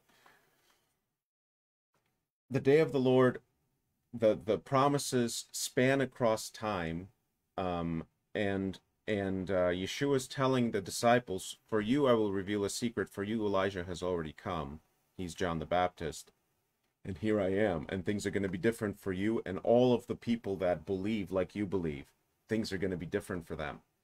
And then for the rest, for the promises of those who did not receive or did not have a chance to receive or, or were, were stuck in some, uh, you know, they just they they didn't get The opportunity. the opportunity or maybe they were stuck in uh, a, a strange faith that is totally about god but seems to be blind about yeshua i don't know who i'm talking about you guys maybe do um I, I have no idea what you just said, but go ahead. the What are you being so? Oh, yes i'm being okay, funny gotcha. Okay. um we've talked about this a lot throughout like how do they not did they not read isaiah this or did that did they uh, do they read the same book what how Right. did they not see How'd they that miss this? yeshua is the prophet uh, Right. uh, i'm sorry is the messiah Mhm. and they say he's just a prophet like what happened there and then we read about how there's going to be a supernatural blindness upon them Mm-hmm. so um uh my point is that as Yeshua says to Peter, uh you don't know this because you figured it out. You know this because the Lord has revealed, it to you. He's revealing it to the disciples. Hey, if you will receive it, Elijah already came Mm-hmm. and what you're about to if you continue receiving from me you will now experience things promised to those after the great and terrible day of the lord that's essentially what i believe he's saying so if if as as they as they embrace yeshua and they embrace everything and then they and then they have pentecost they now have this direct connection through the holy spirit to god. I'm not saying it's going to be as pure as it is when they're when when we're all hopefully on that other side but i'm saying like they're getting like a really really they're they're building the bride. They're they're having a uh they're having a first experience of that covenant is what i'm saying. Mm-hmm. so it doesn't cancel the fact that that covenant may still come at a different time for some of the rest of the people. Or to say it plainly, it doesn't cancel the fact that that some of, to some of Israel that covenant may still come. It's just going to come at a different time. And it's going to look different and they're not going to play necessarily the same role. But the promises made in the Old Testament by Joel and stuff, uh, they they they will apply. You know what I mean? Mm-hmm. I hope I'm making sense, guys. I know if, I know I've kind of talked a lot. No, you're making sense. Um, Um, Ricardo says for you guys, Moses and Elijah were with Yeshua with their original human bodies or with their new spiritual bodies. I think they were in a spirit form, manifested, but in a spirit form. I don't know. That's what I get, but that's because he's. They say that he transfigured, which I, it's hard for me to explain, but I'm, I don't know if it was. I mean, his physical body, Yeshua's physical body could have morphed. I suppose they could have been there in physical form. Maybe that was the whole point. See how these two were dead and now they're risen with me, standing with me? That's what's going to happen to you. I feel that's the message, yeah, right? That's the whole message, right? Because Yeah. then he says, This is going to happen to me. I'm going to die and then I'm going to raise. And that's a whole message onto you, which is what Paul says.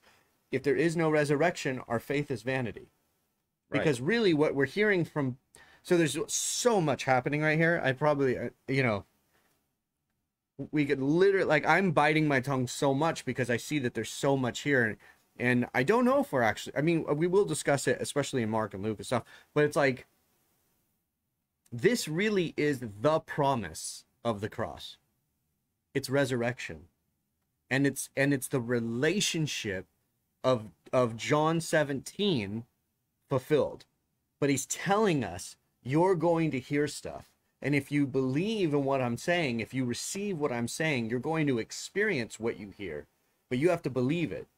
And then it will happen to you. And then the day of Pentecost comes, the, and that that is the Holy Spirit moving in them. That's the helper, which is interesting that Yeshua calls it the helper, right? Because it helps them to believe. It helps them to have understanding and remembrance, which is the Bible is the book of remembrance, right? So like all these things, like there's just so many unbelievable layers here that like I hope this is making sense to the viewers, but uh, you know, and that we're not just rambling. Like I feel that this is really important because you're talking about the revelation of the day of the Lord, and and it's funny because it was that really the conversation, or was it really discussing what's happening with this moment? What's happening with the transfiguration? What's happening with them building a tent? Like there really wasn't so much talk about the day of the Lord. I feel like we kind of got stuck on the day of the Lord thing. I know I did because I'm like, well, let's let's be clear because I'm like, it sounds to me like it could be that day that he dies on the cross is the day of the Lord,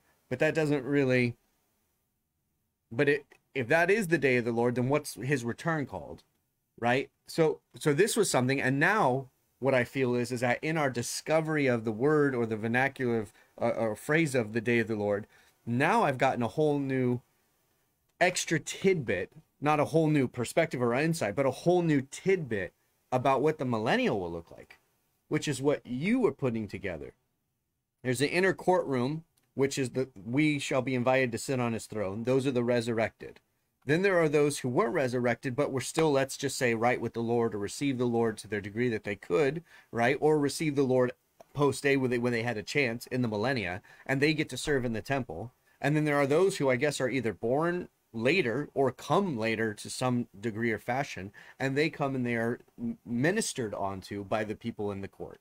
Yeah. It, right. it- so this is like a this is like a whole. If you've ever wondered what does the millennial look like, I think right now in this moment, why we're sitting here reading Matthew 17, which is not a scripture that would have Let given me yeah. revelation about the millennia, right? But it has. It is totally given revelation because it has. I, I'm I'm persuaded now that the that the great and terrible day of the Lord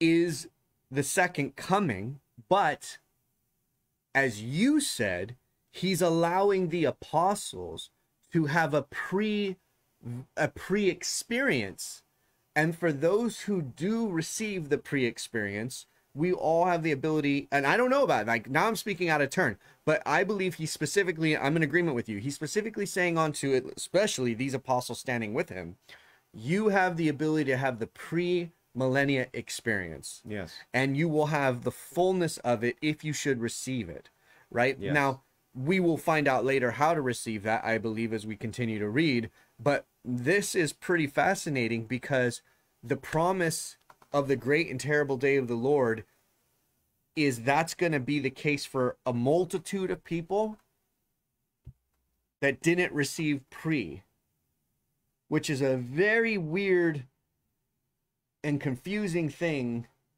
in regards to Because the judgment, Salvation. the judgment doesn't come until after Af- millennial. I know that's the other thing. A lot of people think that judgment comes on Rapture Day So- or or His second coming, and that's not the case. It's after the millennium. The millennial kingdom is God's Israel being done super total right, no chance of it going wrong. Right, no mistake, because Yeshua is King of all for a Yeah. thousand years, which is the That's prophecy. it. And so, in order, so the premillennial millennial experience that is happening to uh, those that re- believe and receive Christ's teachings and Christ's promises, that gives people the opportunity to willingly receive it. When the millennial actually comes, there won't be much of a choice. God will be present and all will receive, and all who nations who reject or any individual who rejects God's going to be receive immediate retribution. I remember reading about that about the diseases that come, and, and the curse is immediate. So, so life in the millennial will be each individual's relationship to God, which is the new covenant, which is the Yeshua covenant. It's not going to be based on entire nations anymore. But those that are in God's nation, those people who are in Israel, uh, in the new Israel, with the new giant temple and the new Jerusalem, those people are going to be unquestionably like, they're going to have it connected. That's what the promise is. They're going to have it connected. And I was just going to say, when you talked about the resurrected, I'm not sure that there won't be resurrected among those people too. But I'm saying the saints who have died for Yeshua on, on you know, Martyrs, martyrs, The yeah. special crown. They The get a special, the special crown. crown martyrs are resurrected and transfigured to receive new bodies. Uh, the other ones, I don't know. I don't know. Maybe they're just resurrected and they're given, uh, uh, you know, full health and a thousand years of life, or I don't know. I'm now going into areas I haven't. I, I'm not necessarily receiving information about. So, but I, I just, yeah, I'm in agreement with you. We did not start out Matthew 17 today thinking we were even going to be talking about the subject, and it sort of just happened. And um, we received Well, I think it's. I think I personally, I think you know, I'm kind of. I. I I feel like I'm a little bit to blame that we chased this rabbit hole in the video, but at the same time, I'm not apologetic about it because Right, if we move forward without an understanding of what is the great and terrible day of the Lord, then we could move forward with confusion. Exactly. And we could be everything that we hear that builds, since every word builds upon the word before. If we have a, de- a- a skewed definition and concept, then we're building that on a skew foundation, right? Agreed. So I think that again, you know, I feel partially to blame for this rabbit veering off, but I'm also not apologetic. I think it was great, and I'm Yeah. so grateful for everybody, you know, throwing in scripture and giving their two cents. And yeah, this is really, this is this is what I I love about our fellowship here, guys. Uh, this is this this moment we just had, though might be long. it's so important. I feel it's so important. I feel I don't want to move forward until uh, like this is what me and Alex do by the way when we read privately before we come on the videos. If there's something like this, we will spend no exaggeration 6 to eight, 4 to 6 hours we have spent really like researching, going through scripture, you know, and we won't move forward until we are like light bulbs on, crystal clear, spirits confirming it. True? We've, Absolutely. we've told you this in the past that this is what we do, but I feel like now we're doing it with you guys on camera, and it's like, does it get better than this? No, it's awesome, and uh, that's exactly what I was gonna say. Is when I, we've have we would have moments before where there's a lack of clarity, not Yeah. necessarily a contradiction, but what something may seem like a contradiction, just a lack of clarity. There's a yeah, there's a there's And a it would- confusion. It would be it would be both of us would kind of look at each other, and we'd hit the you know you, you'd hear the you know the the record scratch, Mhm. the the waltz stops, and we just start hammering on it, and sometimes it seems like a chasm we will never bridge. Like, oh my gosh, this is a mistake. And we'll pray. And we've testified to this before while reading the Old Testament with you guys.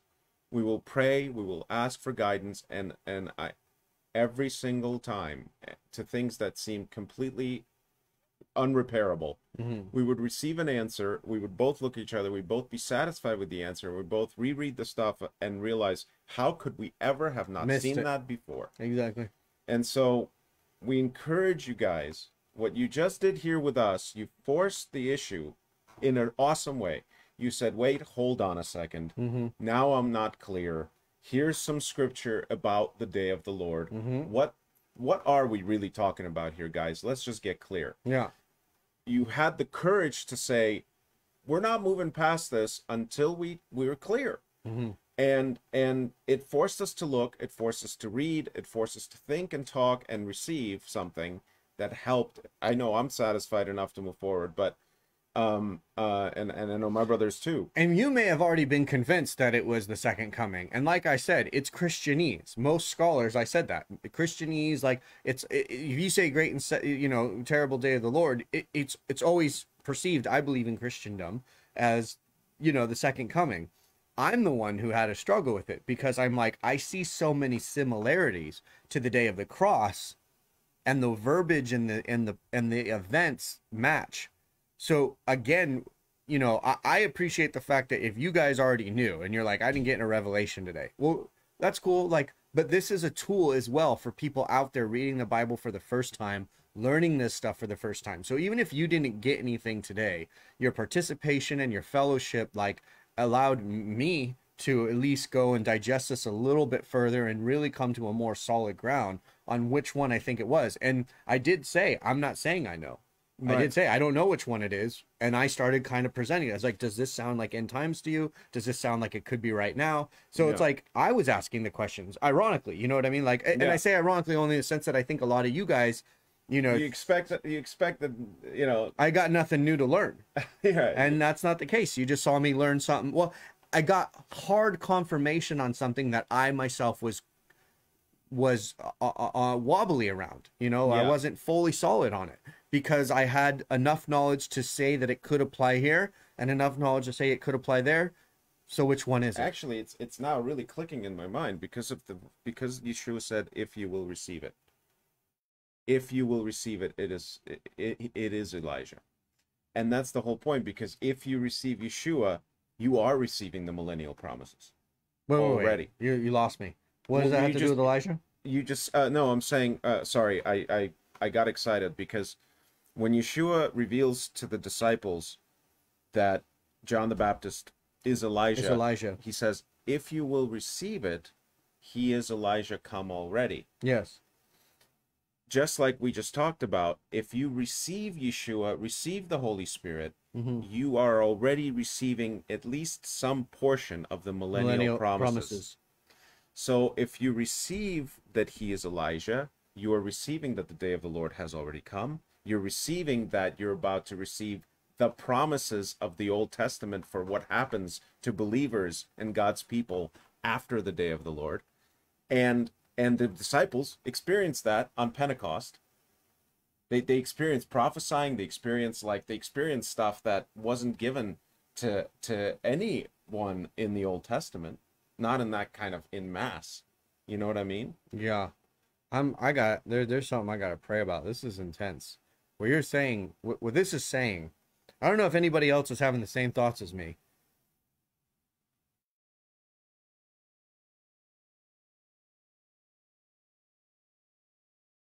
Is anything sticking out as like weird to you? Like like is like a game changer in this dialogue other than just like the body stuff? It's really ringing good with me. Uh, what do you mean I know. by weird? I think I, I think what you think is good is what you would always hope for or you believed in your spirit that we talk about off camera all the time. yeah. And I kind of get on your case about it. yes. Okay, that's what I'm picking up. Yeah. Okay. Yeah. Yeah. I, I've been having an inkling that something like that is somewhere It's in somewhere in there. Yeah. And I was always like, we can't we We- can't we can't just believe that because we believe it. Right. Right? Even if though even if we think spiritually it's hinted, like I need more concrete than Yes. that. Well, right? That's how I'm built. Well, I love that. No, but I love that because because I know we're being cryptic. We'll probably bring you up to speed in one second. Yeah. So what Nathan's talking about is really the gravity of. Well, you know what? Let's not go. Yeah. Uh, we're not gonna. I'm we're- we glad I was like I was letting the Lord like I'm glad we can't go there now. We will get there. I promise we're not gonna let this go. It is something me and Alex talk about a lot off camera. Uh, you know, I'm sure you talk about it with your friends and family to a degree as well. We're gonna get to it, but I think that there's other scriptures we definitely need to get to, and um, and this is uh, I am persuaded that when we get to this topic, there is a lot of fear and anxiety that many of us have that will be greatly diminished in a very good way. And that's why you're smiling like that. I think it's going to be greatly diminished. I'm saying this to give you hope. I'm saying this to that, you know, the Lord doesn't always allow us to see the good that's coming because we will often mess it up or we will break the process that He needs us to go through all I'm saying is I believe that I believe that we're supposed to do EBRT in order as, as much as we can. I think the way everybody has cross-referenced things here, but I think that this particular topic and this particular revelation needs to happen at the appropriate time where it, the, the scripture really speaks to it. So so you know I know sometimes I get ahead of myself and you're like, well, how come Nathan's or, D- or D- Alex or you know they'll read the scripture with somebody else like, but why not this? And it's just that like i i'm feeling in my spirit that it's a thing that needs to come which totally matches with what i told you today the Uh-huh. knowledge is coming Right. yeah so i had a vision in a dream maybe i'll make a video about it three and, nights and, ago And and and the person in that dream. and was who exactly Mhm. you see what i'm saying Yeah. makes sense Does make sense. and what was he doing sitting on with the thing and the code and the life the new new body Yeah. which would make sense with also what i saw yeah. yeah i had a We vision three nights ago. They won't ago need light anymore. They won't need candles. No, They because they will be coming. Oh my lord! Oh my, hold on. Oh my goodness. Oh my goodness! Wow. So there's another video coming. There's another video coming because uh, I'm just gonna tell them that you had a dream, Wow. and there's another video coming. Oh and my it's gosh! I gonna have be- chills right now. Yeah, and it's gonna be. And he just told me about this dream literally before we right went minutes. set up like for the video, a half an hour before this video. and uh, we're totally on the same page at who was in the dream Wow. and what you what know, was the message? and what. But we just didn't know the message, and it is fair to say Wow. that at least I think it just came through. yeah. Okay, I'll let you th- say that. So Should I mention it in the E EBRT? This is Um, kind of insane. Tell me it's not, it's a little insane. Yeah, it's bing. It's on the nose. Okay, I'm gonna tell you guys. Do you guys want to know? One person saying I want to know. I I feel like I should just mention it here because it's in the video. Because what Yeah. if somebody else doesn't find it? Let's do it. Okay, okay. Three nights ago, or three, three, th- Sunday morning, I wake up from a dream that was not a dream. It was a very, very like Nathan, pay attention. This is a, this is like God speaking moment, and they don't happen often. Um, some of you may think they do, but they don't. So, um, Nathan, pay attention, and I saw a man sitting on a like a, a throne, but there was no throne, and he was sitting just like this very still, just looking straight. And he was sitting on the edge of a forest. And it was a, a forest on earth. It wasn't like a heavenly forest, it wasn't a heavenly plane. And in fact, there was two guys in like jeans and t shirts walking away from him at different paces. So each one had like a moment with him, and this individual revealed something to each one of them that they needed to know. And my turn was coming up, and I was walking to this guy on this throne, and his eyes were complete light. Like there was no eye, you couldn't even see the eyebrow because there was just solid, crazy, bright white light coming. But the light stayed contained, like it didn't make everything blind. So it's it's like a like how you would imagine in a movie. I hate to say that, but it it was like that. So the con- it was contained like right here, like like sunglasses, like that. And he had this thing where there was his eyes and then from his eyes were these lightning like very straight yellow type of lightning color that came out from him and then there was two balls of like lightning light and then there was a, a lightning light above him and the line went down south and then curved and it was the It looked like you said the, the DNA, hel- the DNA helix. And and I knew it was. In in the vision, I knew that what I was seeing was the DNA helix. So I'm going to show everybody just real quick what it is. If you guys don't know, just type it in DNA helix. Okay, and then you put in uh or or, or DNA what did I say it was? It's not helix. DNA Cross? cross, yeah. Do you guys know that cross? Oh man, why am I not finding it now? DNA cross. Well, it, no, but it matters. it does, but what I mean to say is like you knew in the dream I knew in the dream that that's what it was.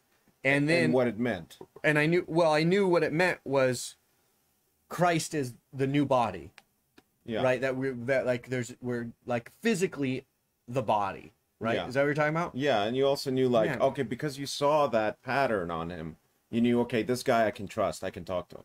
Yeah, oh yeah, yeah. So there was a little voice in my head because I was very conscious. I was like awake. It wasn't. It was like I was sleeping. It was a dream, but I was very like aware in the dream. Like I could, I knew I was dreaming. I don't know if you have that experience. So, anyways, um, I think to myself, is this a good guy? Should you walk towards him? And I and then I looked and I saw the, the uh, what is it called? Oh, there it is. The laminin. L A M I N I N. Okay, now I want to show you an actual, just so you see what I saw. I want to show you what I saw. This is what I saw. Hopefully this works. Let's see. Let's go visit. Is it gonna allow me? Okay, this is what I saw. No, it's not working. Okay, man, That's good enough. that's good enough. Let's see. You guys see that? So it's that version. It's like an actual, like, X-ray DNA photograph, right? So when you Google it, don't look at the drawing. That's not what I saw. I saw like the organic, real, like how it's kind of squiggly. Here we go. This is what I saw. A. This is exactly what I saw. There's no way that here I'm gonna screen capture this. I'll post it next. That's exactly what I saw. Wow. Yeah. So see if you can see it. That that's exactly what I saw, but it was like this. So the guy's eyes were in the center of the cross. So the cross literally met at his eyes, and then it, it did exactly that shape, just like that. And I when I saw him, I was walking towards him, and I heard the the like a, a voice like in my head, and it said, uh, "House of David, of the House of David," and I'm like, okay. And then I was like, well, I know Yeshua is that symbol to me, right? That that thing I know is Yeshua. So this guy's eyes were light. The helix thing was with the lightning and everything, and he was sitting on this invisible throne. You couldn't see it, but he was sitting down and he was super straight. And I knew that he was going to tell me something, and be and I knew I was about to wake up, and then somehow like a voice from him transferred into my brain. Like he didn't speak, just knowledge transferred into my brain. And I told Alex this, and he said, "What I'm going to tell you, or what what what what you're going to learn from me, is coming. It's this isn't it. This this dream, this vision isn't it. But this is to tell you something's coming." Yeah. So now here we have this new body discussion.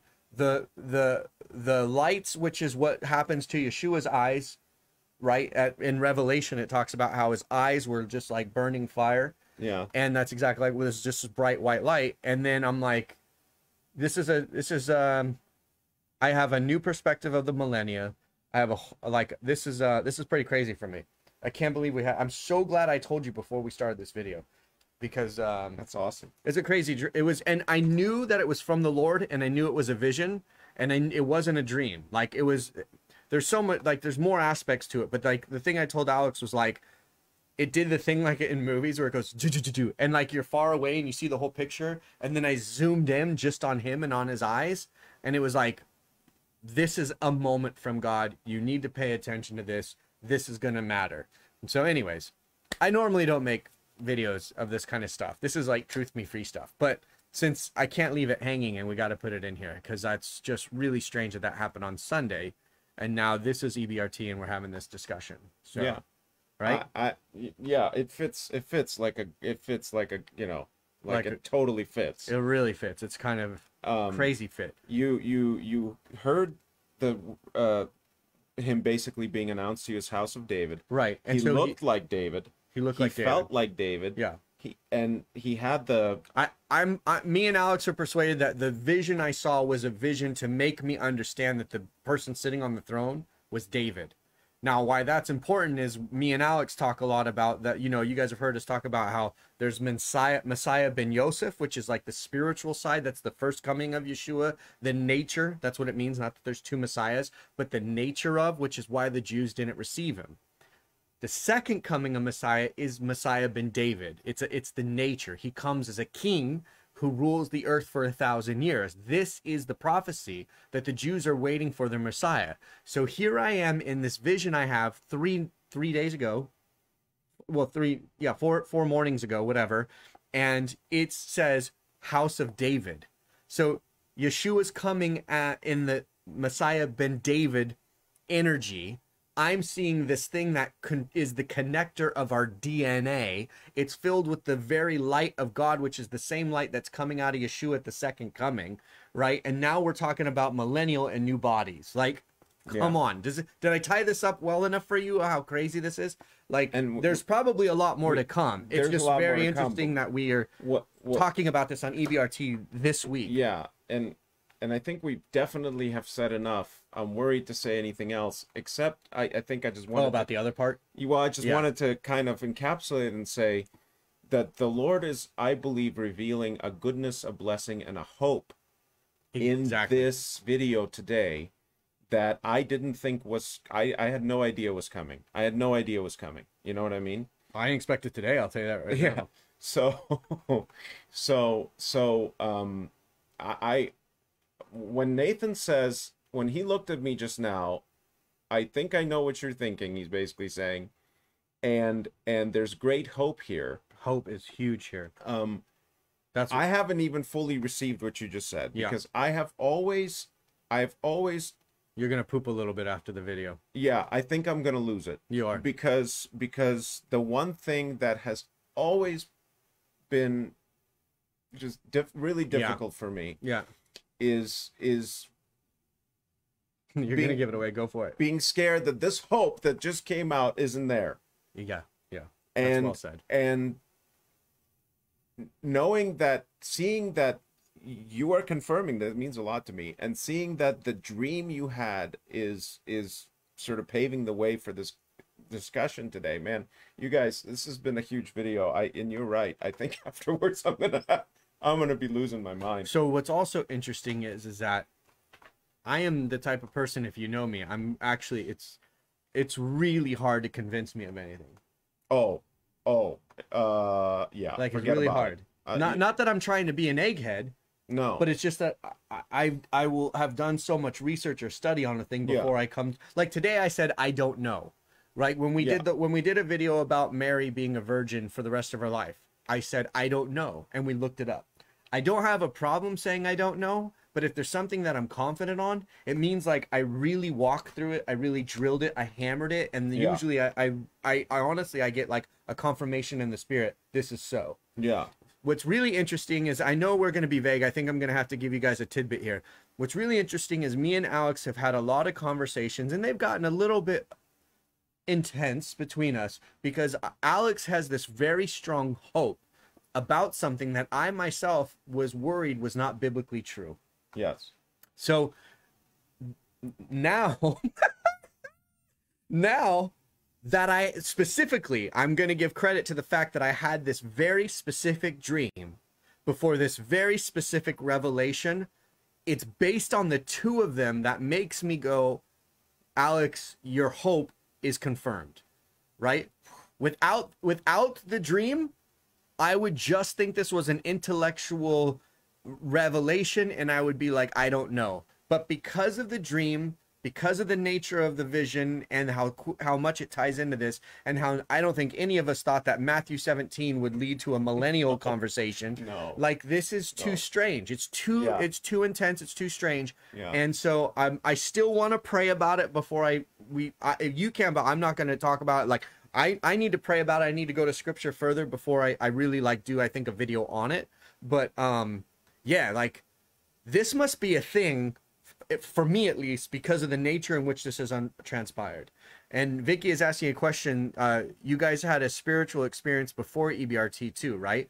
before last EBRT, because we last EBRT we got on the camera, or uh, got on the, sh- you know, and we were just like buzzing about something, which was uh things that you had just experienced, uh the lady you just met, Oh, that yeah. stuff. Well, that was yeah, that was actually technically a a spiritual experience too that we can't really deny too much. Oh, your thing's dead. Oh, Um, it? no, that's okay. Oh. Ogachuka says, "Is there more? There is more. There is more. But I'm I'm gonna humbly I'm gonna humbly I don't mean to tease you, but I'm gonna I'm not gonna say anything right now because I need to pray about it and I need to just confirm before I because So- this is recorded and this is my ministry and I don't want to ever So, say Melissa, anything. I'm going to, in, in respect to what the process that Nathan is right to embark upon from this moment on about the subjects we just talked about. When you ask me what is my hope, I, I don't want to talk about it specifically uh, right now. But if you just uh, review what we just talked about and the picture of the millennial we just drew as a result of these discussions and the understanding that uh, of of of sort of the dual occurrence of the day of the lord experience kind of thing if you if and and, and what we just said we reading joel what, what we just said about the people that joel was prophesying to and then the different roles that people will play in the millennial all of that stuff has to do with this hope that i have And Mhm. and so that's all I want to leave it at because I don't want to make a definitive statement right now because I'm I'm like Nathan here. I'm I'm scared to be wrong yeah, and I am. I'm not saying yeah to him. Well, I'm I'm I am. scared to be wrong because this is this is huge and if people don't understand this one or misunderstand this one, Oh, it's gonna be hell for it's us. bad. It's really bad for us and it's bad for them. Yeah. And so I feel that we've been given a glimpse of something because we've made it this far. Yeah. And because we've gone on the journey and we hoped for the hope and yet we were willing to say, Lord, your will is true, your will is right, whatever it is, it is, and it is right, regardless of what my hopes might be. This, I think, uh, for me to clearly state, I feel like I need to state this just while you're saying these things. For everybody who's wondering, like, what in the heck are these two dudes talking about? The thing that was just revealed to both me and Alex, to me, and then Alex is hearing me confirm that I got the confirmation with the stream and everything. It's a fundamental game changer to faith, to the faith. Fundamental game changer that is not something that anybody is easy to receive or to believe but the funny thing is is like this is such if, if it is what it is, and again, I'm going to pray and I'm uh, like going to really seek the Lord on it. If it is what we think it is, because I think you're picking it up as well, obviously, it's a it's a fundam it's a change to the understanding of the fundamentals of faith. So it's that big of a deal. Like I've yeah, it's it's it's if we can confirm this through scripture and and so forth, it's an absolute fundamental game changer. So I'm I'm literally like twitching in my brain, like I'm having a meltdown, dude. And and so and and so Nathan's confirmation of um having a dream, very specific God's talking to you dream, uh preparing him for this discussion today. Yeah, I just want to testify and confirm that dreams throughout the EBRT, I have had dreams hmm that are so incredibly, totally 100% telling me, explaining to me uh, uh, something that I'm struggling to understand in the scripture or in general Yeah. about how God feels about a certain thing. Well, And they're specific and they also have to do with my life. And, Mm. and I haven't revealed these dreams because they're a little personal and there's Mm-hmm. personal stuff in them. But um, I'm telling you right now, I have had the experience through this EBRT, through this process of trying to understand the Lord, where He reveals things in dreams so clearly that there's no doubt left. yeah. And and so that's why I'm extra excited uh, Well, about. and what's we also had the today because- Moses experience. yeah, because if if Nathan had not had this dream, then I could just be sitting here going, well, uh, you know, hey, I went after my favorite hope here or something. You know, I, I I'm interpreting things the way I want to interpret them. exactly. That's what I think that I would be perceiving Yes, too. and and we would probably not. I I was surprised that we had.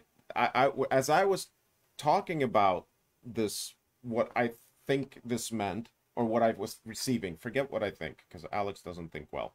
But whatever was happening in this, no, not really. Whatever was happening in this moment, as I kept talking, I was actually a little scared because I'm like, uh oh, I feel like we're encroaching upon some area, but it wasn't that I wanted to encroach upon it, and you picked up on that. You're like, I can feel that he doesn't want to keep going Because we I knew what you were talking about. because we know where this is heading, and he knows where this is heading, Yeah. and he doesn't want to go there. Because you also know how I felt about it. Yeah, and like, but Or maybe you just had fear of the. Well, I just- saying- I you're just- probably like Nate's gonna. mm, well, uh, both, both, because not, not, I just, I don't know. I was compelled to continue talking, and and when when when something clicked for you. Anyway, we're we're we're we're in real time reviewing what you just saw happen, so forgive me. yeah. This is a weird video. I get it. But, Super weird. but uh, I do believe that. Yeah, I. I am, I am authentically, folks. Having a full mental breakdown, like, like legitimately, my brain is like, this is insane good news, like, in. Saying like I am two inches away from bawling my eyes out. I'm sure you're the same. So I'm pumped. I hope this is not the weirdest. Like, I hope this is not too weird. Like, this is such. I'm like realizing we're making a video series. I'm so glad it's not about production.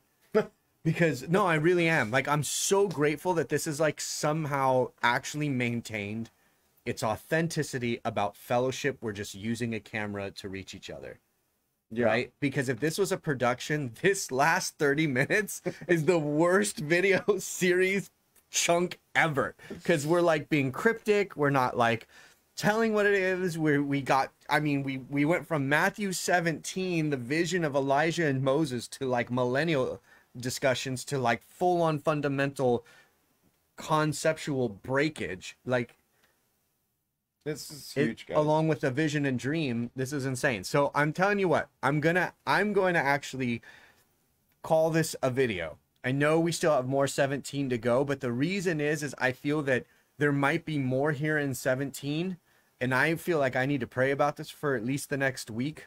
And then let's come back to this and then because who knows maybe maybe i'll get confirmation it's supposed to be shared and that way it all ties into this moment which is where it was revealed.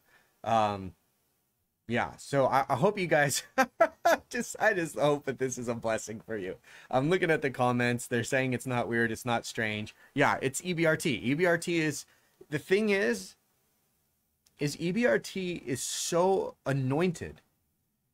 We land on holidays, on the scripture that talks about the holidays. We had the Moses thing.